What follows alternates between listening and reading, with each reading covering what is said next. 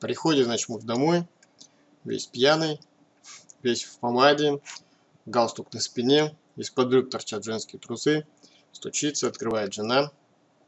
«Ты, ты думаешь, я тебя домой пущу?» «Отойди, я за гитарой».